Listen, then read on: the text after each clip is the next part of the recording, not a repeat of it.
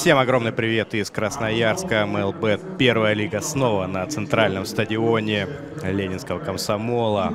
Главная арена Красноярска и всего Красноярского края принимает матч 12-го тура МЛБ Первой лиги. Ну еще раз, 12 тур МЛБ Первой лиги. Енисей, Динамо, Махачкала, поехали.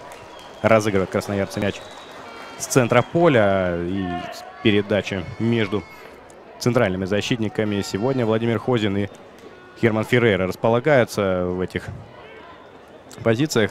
Тоже играет за Махачкалинское «Динамо». Правда, играет, ну, громко сказано, чаще на замены выходит в концовках.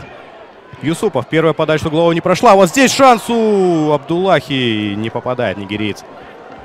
В ворота с убойнейшей позиции с угла вратарской атаковал. Да, если бы здесь кто-то из центральных защитников, тот же Ковачевич, да, или Алибеков оказались бы. Ну, был как раз, был там Кагермазов на дальней штанге. Вылетает из штрафной на подборе. Крашевский остается против Юсупова. Уходит Ярослав. И еще одна подача. И вот здесь неплохо вылетал на мяч Владимир Хозин. Опередил все-таки соперника, но мяч прошел выше створа. Здесь мяч получает, но довольно узко Динамо сейчас атакует. Тем не менее, это может быть опасно. Подача. Штрафной здесь Кассинтура к мячу не успевал.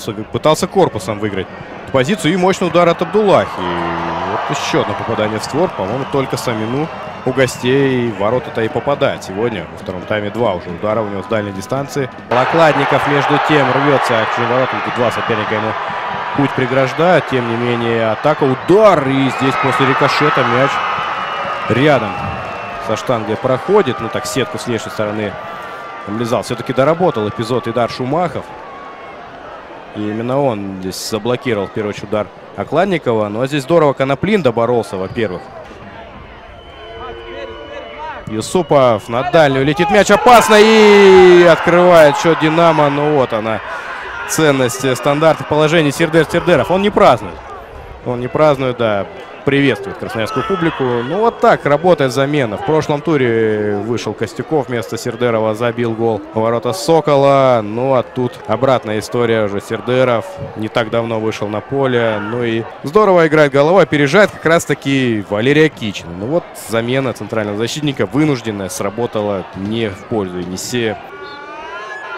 Да, финальный свисток. Енисей проигрывает в 12-м туре МЛБ первой лиги Махачкалинского «Динамо» со счетом 0-1. На этом будем завершать наш репортаж. Сегодня для вас место событий работал комментатор Антон Сазонтов. Всего доброго и до новых встреч на футболе.